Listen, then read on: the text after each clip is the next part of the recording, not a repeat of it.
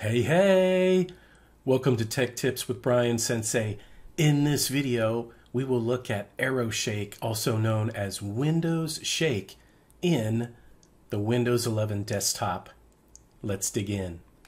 Okay, so here I am on my Windows 11 desktop, and I've got a bunch of windows open here, as you can see, multiple windows, and it's just a lot of clutter. And so really all I want to do is work right now in this one window. This is the Microsoft Store.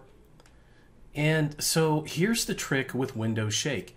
I can click, left click and hold the title bar at the top of the window. And as you know, you can click and hold and move a window around anywhere on your desktop. Well here, if I shake it left and right quickly, boom shaka laka every window minimized down to the taskbar. And so I can now focus on this one window, on this one application that I'm in without any distractions. Now, if I want to bring everything back up, I can grab the title bar again and shake it left and right, and boom, everything comes back.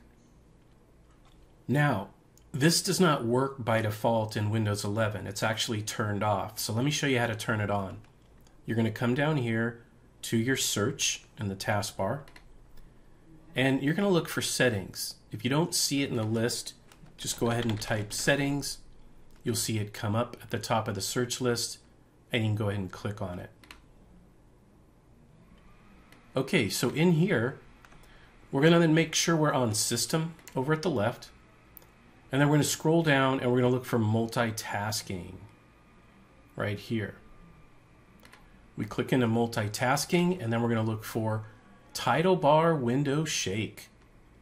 When I grab a Windows title bar and shake it, minimize all other windows. So here I switched mine on, but by default, like I said, it was off. So I had to come in here, click on this switch to turn it on. And that's all you got to do. So you're now ready to use Windows Shake, also known as AeroShake in Windows 11.